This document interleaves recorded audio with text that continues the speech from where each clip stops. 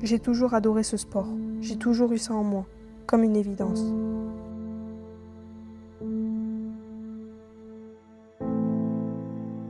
À l'âge de 10 ans, le TFC m'a fait confiance, le début d'une belle histoire.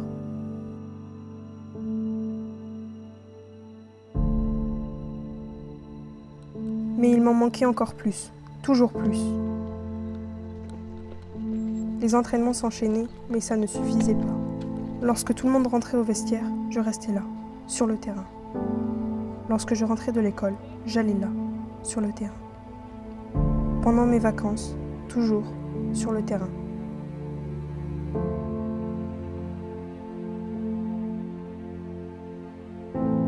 Cette envie d'être la meilleure, je la dois sûrement à mon père, cet homme qui m'a toujours soutenu, cet homme de respect.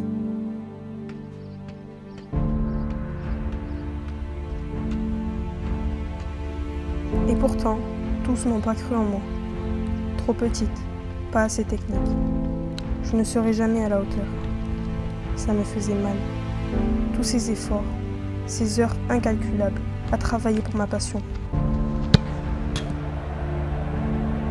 Tout s'écroulait autour de moi.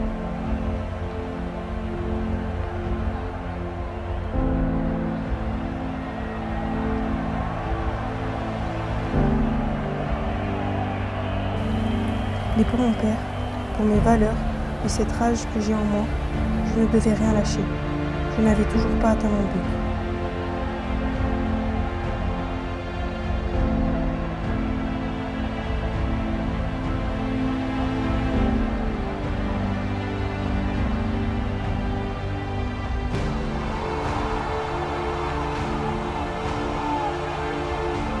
Et pour lui, je ne devais pas baisser les bras. Ce n'était pas moi.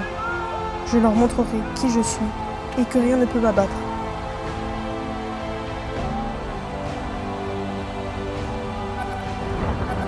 Courir plus longtemps, plus vite, aiguiser ma technique, être plus puissante et déterminée que jamais. Je me retrouvais enfin.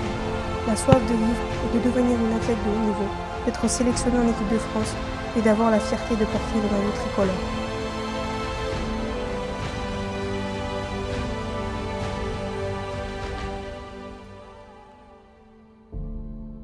Mais tout ne fait que commencer. Je m'appelle Lorena Zaro, je suis footballeuse professionnelle à l'Olympique lyonnais.